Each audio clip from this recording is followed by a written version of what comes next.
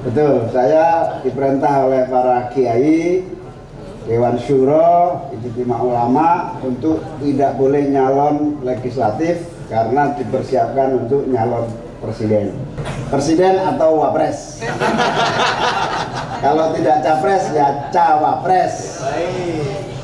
Yang penting bukan one team press.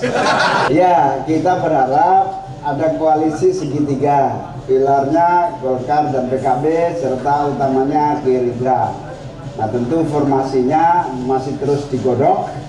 Kita berharap eh, bisa tuntas dan terjadi kesepahaman, kesepakatan dan kerja bersama. Soal bagaimana dan posisi apa nanti pada akhirnya akan ada pengumuman. Ya, PKB pasti mendukung Pak Prabowo. Cuman secara resmi akan ada saatnya diumumkan.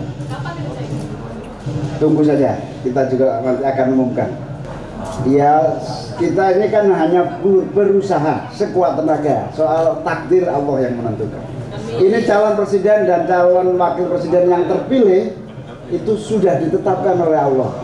Tapi bocorannya belum tahu.